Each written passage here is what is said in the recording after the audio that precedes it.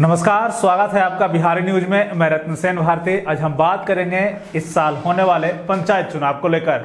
अगर आप पंचायत चुनाव लड़ना चाहते हैं तो जान लीजिए, ज़रूरी बात। बिहार में इस साल होने वाले पंचायत चुनाव को लेकर गाँव में राजनीति तेज हो गई है। उम्मीदवार अब अपने वादों और दावों के साथ मतदाता के दरवाजे तक पहुँच रहे हैं तो वहीं निर्वाचन आयोग भी लगातार चुनाव की तैयारियों में लगा हुआ है। बिहार में इस साल होने वाले पंचायत चुनाव के बारे में बताया जा रहा है कि इस साल पंचायत चुनाव दस चरण में हो सकते हैं। इसके साथ ही यह भी कहा गया है कि प्रमंडलवार चुनाव होने की बात सामने आई है। चुनाव आयोग की तरफ़ से यह भी बताया गया है कि इस साल मतदान के अगले ही दिन मतगणना भी की जाएगी। अब निर्वाचन आयोग ने कहा है कि पंचायत चुनाव के प्रत्याशी अगर इन 11 मामलों से जुड़े हैं तो वह चुनाव नहीं लड़ सकते हैं। राज्य निर्वाचन आयोग ने बिहार पंचायत अधिनियम 2006 के तहत भ्रष्टाचार के दोषी व्यक्तियों को पंचायत के अन्य पद प्राप्त करने के लिए भी आयोग घोषित कर दिया है।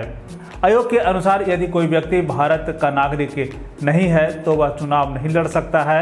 अगर उसकी उम्र सीमा 21 वर्ष है तो अगर वो किसी विकृत मानसिकता का है तब तो भी वह चुनाव नहीं लड़ सकता है। केंद्रीय या राज्य सरकार या किसी स्थानीय प्राधिकार की सेवा में है, ऐसे व्यक्ति भी चुनाव नहीं लड़ सकते हैं। आयोग के अनुसार केंद्र, राज्य सरकार या किसी स्थानीय प्राधिकार के सहायता सहायता प्राप्त करने वाले कोई भी संस्था की सेवा में हो तब भी आप जो है चुनाव नहीं लड़ सकते हैं। इसके साथ ही केंद्रीय या राज्य या फिर किसी स्थानीय प्राधिकार की सेवा में कदाचार में पद मुक्त कर दिया गया हो और किसी लोक सेवा में नियुक्ति के लिए अयोग्य घोषित कर दिए गए हों, ऐसे लोग भी चुनाव नहीं लड़ सकते हैं। आयोग के अनुसार भारत के अंदर या फिर बाहर किसी न्यायालय द्वारा राजनीति अपराध के विभिन्न किसी अन्य अपराध के लिए छह महीने से अधिक की अवधि के लिए उन्हें कारावास या दंड की सजा मिली है। ऐसे व्यक्ति भी चुनाव नहीं लड़ सकते हैं। किसी कानून के तहत किसी स्थानीय प्राधिकार के सदस्य होने का पात्र न रह गए हों, ऐसे व्यक्ति को भी चुनाव में नहीं लड़ने की अनुमति दी गई है। पंचायत के तहत वैतनिक पद या फिर लाभ के पद पर धारक करते हैं तो वह व्यक्ति पंचायत के सदस्य होने के पदाधिकारी होने के अयोग्य घोषित हो जाएँगे। आयोग ने यह भी स्पष्ट किया है कि पंचायत चुनाव के लिए चरित्र सत्यापन प्रमाण पत्र की कोई आवश्यकता नहीं है।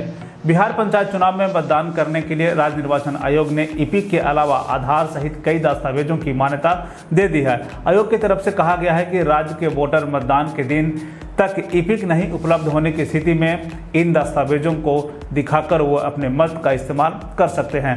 आयोग की तरफ़ से जिन दस्तावेजों को मान्यता दी गई है, उनमें आधार कार्ड फ़ोटो युक्त पेंशन दस्तावेज़, श्रम मंत्रालय द्वारा जारी फ़ोटो युक्त बीमा योजना, स्मार्ट कार्ड, मनरेगा का फ़ोटो युक्त जॉब कार्ड आरजीआई द्वारा जारी स्मार्ट कार्ड शामिल किया गया है। इसके अलावा बैंकों और डाकघरों द्वारा जारी किया गया फ़ोटो युक्त पासबुक पैन कार्ड, सार्वजनिक क्षेत्र के उपक्रमों, स्थानीय निकायों या फिर पब्लिक लिमिटेड कंपनी द्वारा जारी फ़ोटो युक्त सेवा पहचान पत्र भी इसमें शामिल है। इसके साथ ही ड्राइविंग लाइसेंस सांसदों, विधायकों व पार्षदों द्वारा जारी किए गए अधिकार पहचान पत्र भी इसमें शामिल किया गया है। इसके साथ ही फ़ोटो युक्त स्वतंत्रता सेनानी पहचान पत्र भी अगर आपके पास है तो आप भी मतदान कर सकते हैं। सक्षम प्राधिकार द्वारा फ़ोटो युक्त शारीरिक विकलांगता प्रमाण पत्र के साथ भी आप मतदान का इस्तेमाल कर सकते हैं। फ़ोटो युक्त सशस्त्र लाइसेंस अगर आपके पास है तभी आप मतदान कर सकते हैं। पासपोर्ट के साथ आप मतदान कर सकते हैं। फ़ोटो युक्त संपत्ति दस्तावेज़ और मान्यता प्राप्त शैक्षणिक संस्थान द्वारा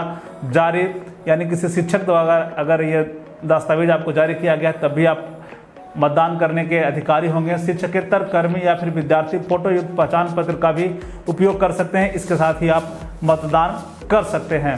तो ये थी पंचायत से जुड़ी हुई खबरें बिहार और बिहार से जुड़ी हुई और भी ऐसी खबरों के लिए बने रहें बिहारी न्यूज़ के साथ। मुझे दीजिए इजाज़त। धन्यवाद।